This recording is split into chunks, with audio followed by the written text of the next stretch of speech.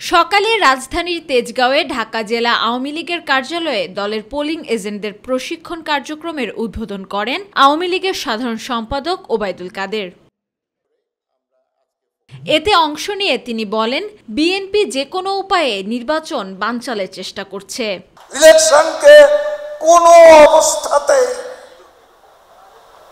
ইলেকশনের যে উদ্দেশ্য, সে উদ্দেশ্যকে আমরা ব্যাহত হতে দিতে পারি না।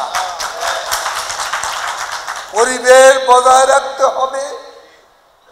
অসুস্থ পরিবেশ যারাই সৃষ্টি করবে, তাদের বিরুদ্ধে ব্যবস্থা নিতে পরে বিকেলে ইউরোপীয় ইউনিয়নের এক্সপার্ট টিমের সাথে বৈঠক শেষে সাংবাদিকদের সাথে কথা বলেন ওবায়দুল কাদের। আসন্ন নির্বাচনে ভোটার উপস্থিতি সন্তোষজনক হবে এমনটা জানান তিনি। ভোটার উপস্থিতি সন্তোষজনক। এ কথাটা আমি আগেই বলেছি। ভোটার উপস্থিতি নিয়ে আমাদের কোনো দুশ্চিন্তার বিষয় আমরা দেখছি না। নির্বাচনের আগ মুহূর্তে পশ্চিমারা কি ভাবছেন এমন প্রশ্নের জবাবও দেন ওবায়দুল কাদের।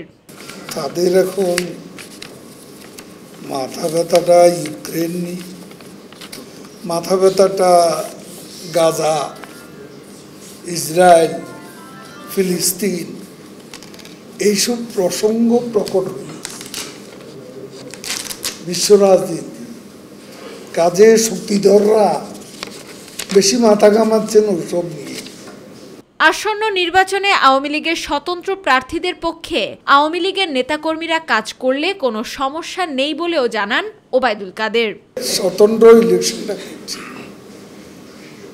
সে যদি আওয়ামী লীগের তার সাথে অন্য আওয়ামী লীগেররা যদি আর ক্যাম্পেইন করে এখানে কোনো দোষে কিছু আছে বলে বলা হয় আমিনা হীরা মাই টিভি ঢাকা।